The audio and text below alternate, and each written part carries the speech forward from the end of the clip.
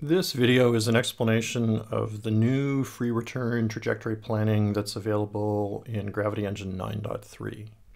This replaces the free return trajectory planning from earlier releases, which was very much a kind of adjust parameters, hit and miss, and try and get the approach to the moon that you wanted. This is more algorithmic and actually does some uh, searching of the solution space and finds a velocity that achieves a requested perilune, and then also shows you the return path to Earth and what kind of free return path you would end up if you picked that. The location is the same. We're in Scenes mini games, Scenes free return. We have several flavors here. Uh, first and foremost, since we want to actually model the Earth Moon system, there are some scenes in orbital units with the correct masses of the Moon and the Earth, with the assumption that the Moon's in a circular orbit.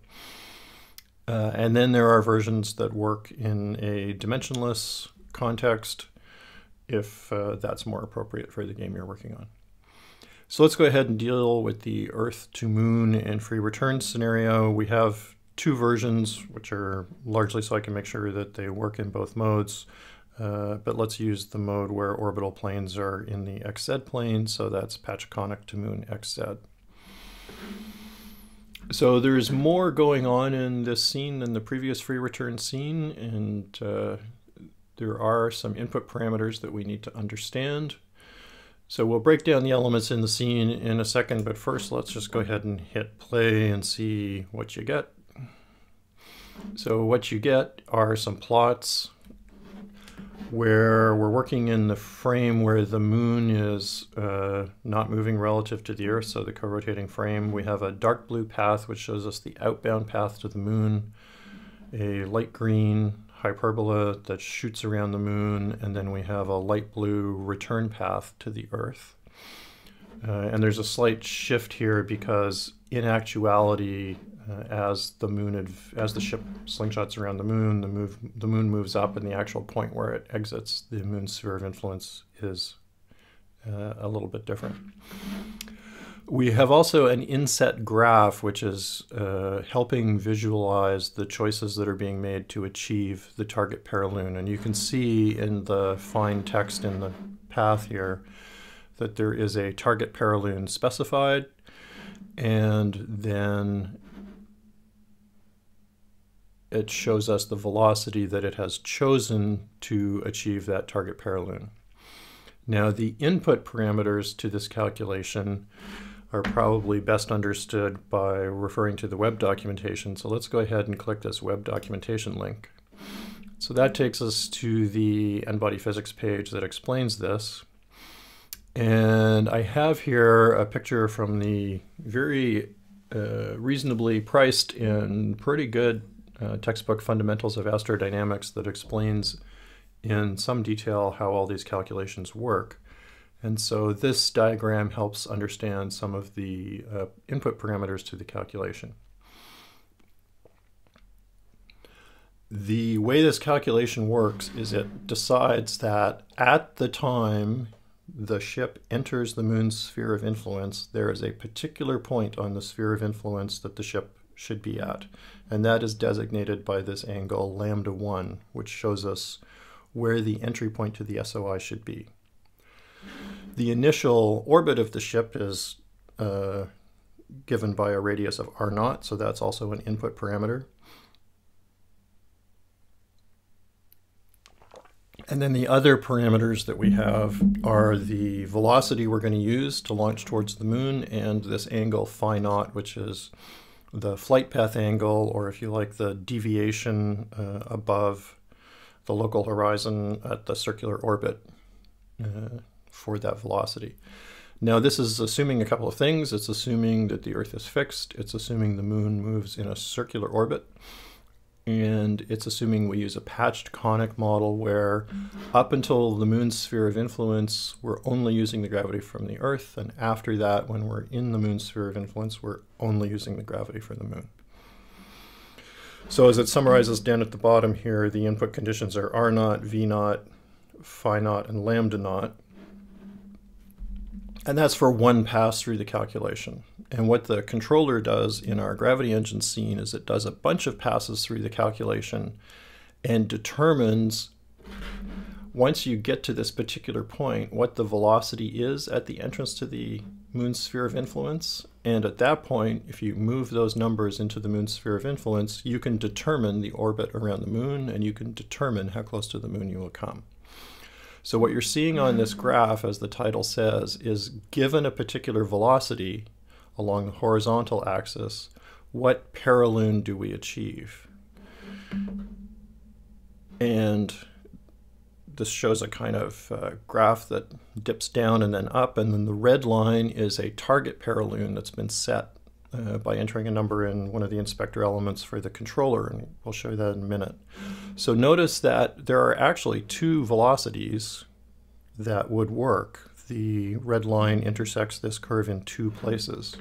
And so there is actually a key you can use to flip between the two routes. If you press the R key, then that will change from taking the second route to the first route. And if we do that in this case, you see that taking the other solution results in uh, a trajectory that won't even orbit the Earth anymore. You'll end up being flung out into space. The other things you can do with the keys is you can adjust the SOI entry angle, lambda, or the flight path angle for the velocity v by using the keys shown. So you could, if you use I, you can change the angle that you enter the moon, you go back, and in each case, it will find a velocity that gives you the target perilune. What you won't necessarily get is the free return Earth perigee that you want. Typically, you want to be, you know, entering the upper atmosphere in your return orbit so that you're guaranteed a reentry. So with a radius of the Earth of around, you know, 6,370 kilometers, this is 6411. You could fine tune that a little bit by adjusting the flight path angle if you want. So let's stop this and look at some of the components in the scene. So if we look in the hierarchy here, we have a compute TLI component and we have a compute TLI controller and this is the workhorse of the scene. This has references to the ship, the Earth and the Moon and here is where you set your desired perilune. So here's your target perilune of uh, 1876. So the radius of the moon is 1,737. So this is, you know, a little, little more than a hundred kilometers above the surface of the moon. Uh, and through a little bit of uh, tuning, I've decided that I like a lambda 1 of 41.33 as my initial value, but you can change the initial values for phi and lambda. As the scene runs, you're welcome to adjust them with keystrokes. Uh, you can determine whether you use the second root or the first root, the first point where the curve crosses the red line or the second. And then there's a bunch of information which are uh, orbit predictors that are not associated with n bodies.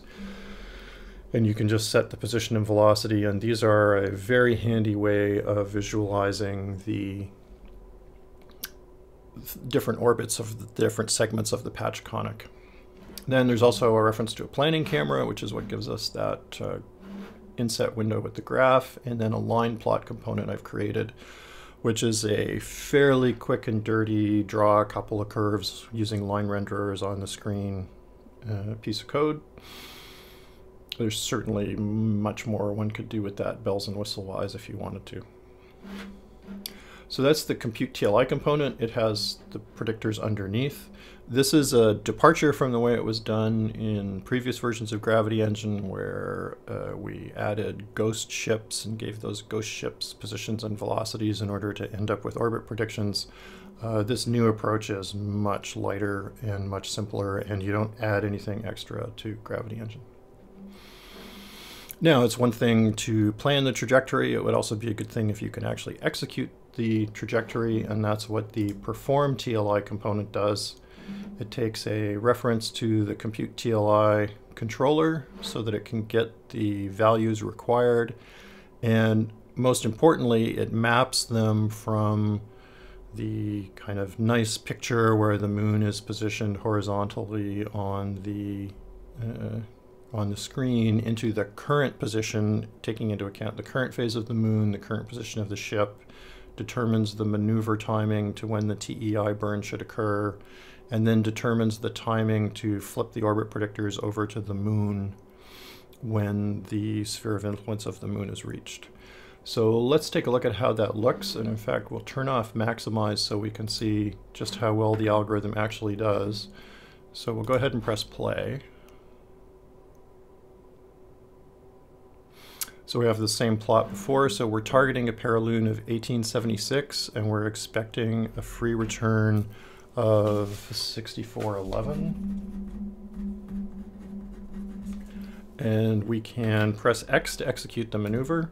So our planning scenes go away, and if we now press, for example, 6 to speed up time a little bit, we can see the outbound orbit takes place, and it's been oriented in a direction so that we will get to the correct angle with respect to the Earth-Moon line at the time the moon has moved around into position.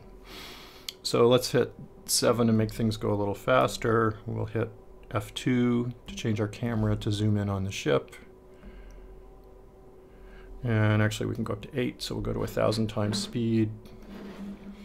And if we go over here on the inspector and look at the spaceship and open it up and look at its transfer orbit, which is the orbit predictor, then once we hit the SOI, we'll just slow, slow time down a little bit here, you can see that the actually achieved periapsis is 1874.4 compared to our target of 1876. So that's pretty good.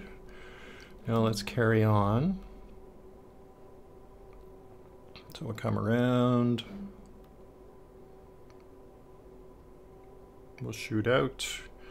Slow life down again a little bit, and we can see that our Earth perigee is going to be 6411, which is bang on the money. That's what our trajectory predicted. So this is much improved over the previous generations. You have very good reproducibility. And we'll just stop that there. There is one other element in this scene called free return correction, which allows you to, on the outbound course, if you see the, the text here in the inspector, it says press M for correction. So on your flight out to the moon, it will recompute the actual perilune you will achieve. So in our case, we were off by about two kilometers. Uh, and if you press M, it will perform a calculation and adjustment to dial that back in as accurately as it possibly can. So let's give that a shot. So let's go ahead and press X and restart. Dial up the speed a bit. We'll get say about halfway to the moon. A little faster. Slow things down. Now we'll go ahead and press M, which will change our, if you look in the logging, you can see that we did a very slight adjustment down at the level of kind of 10 to the minus 6 of our current velocity. So we'll now go ahead and dial up our speed and see if we look at the spaceship's orbit, once we get into the lunar sphere,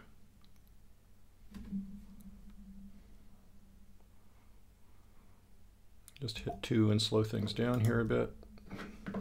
We can see that our periapsis is now uh, 1876.6, which if we look at what we were aiming for, 1876.7 is pretty bang on. So that mid-course correction even at the level of a kind of 10 to the minus 5, 10 to the minus 6 velocity change, did dial us in really nicely.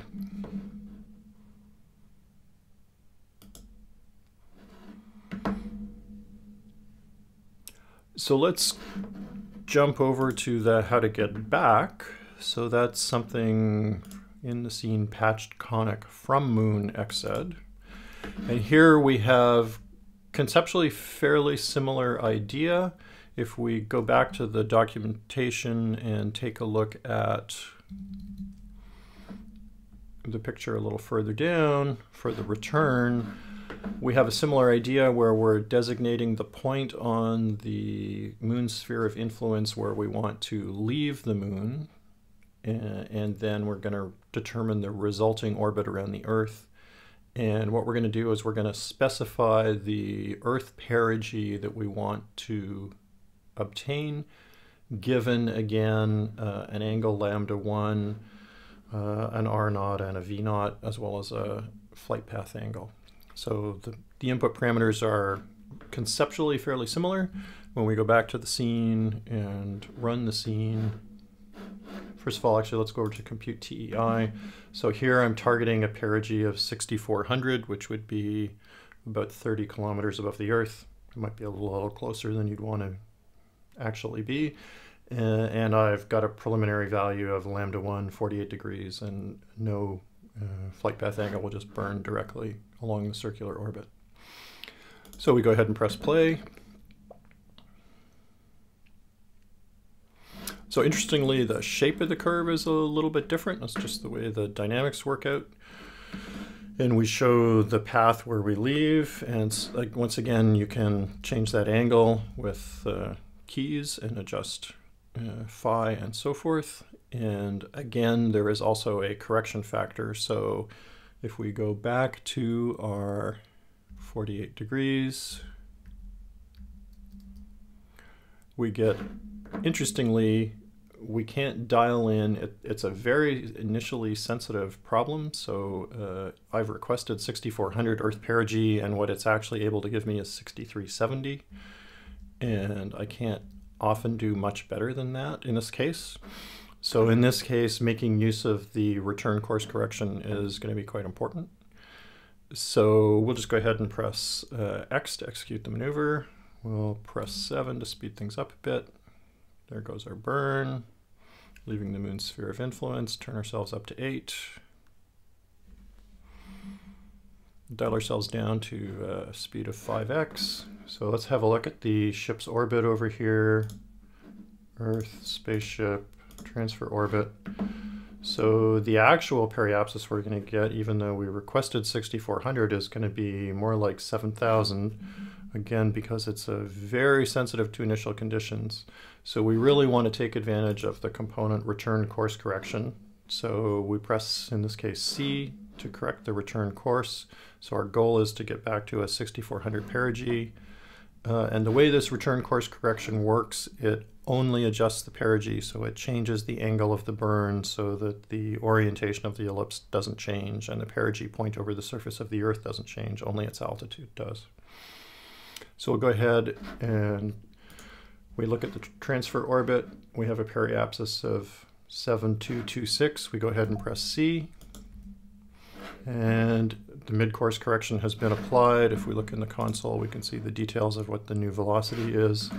And we can see that we have now dialed in the periapsis we want within kind of 0.06 of a kilometer. And we're now back on path to re-enter the atmosphere where we want. Thanks for watching through this. Please have a look at the documentation. Uh, I'm always happy to uh, answer questions about the details and uh, talk through how some of the code works. Hope that you find this useful. I think it's a big improvement over what came before.